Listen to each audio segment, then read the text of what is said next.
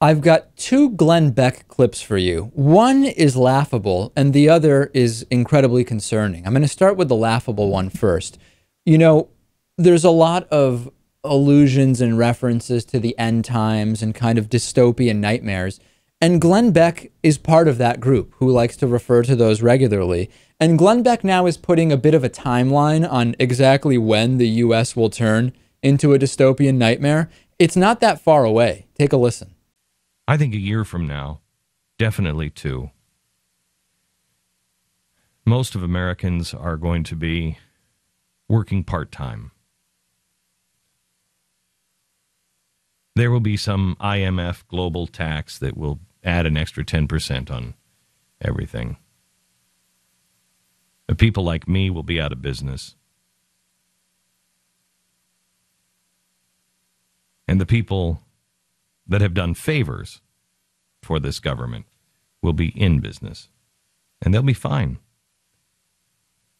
And we'll be the little worker bees.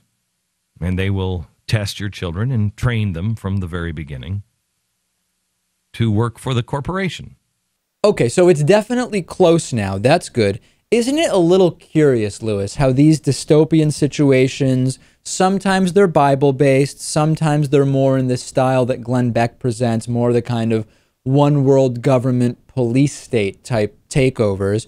They're always just far enough away that it still makes sense to sit, to keep sending money to Glenn Beck or to whoever it is, but close enough that you just start to panic a little bit in the back of your mind.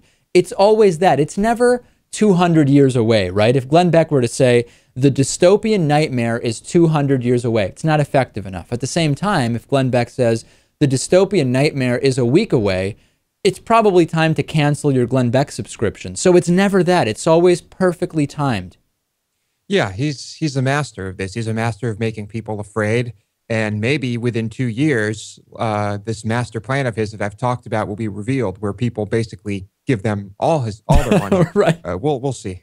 So you actually think that Glenn Beck may be setting up some kind of a almost cult like poison Kool Aid drinking, except instead of literally drinking poison Kool Aid, you just turn over all of your assets to Glenn Beck and give him power of attorney over all of your uh, uh over, over your life decisions.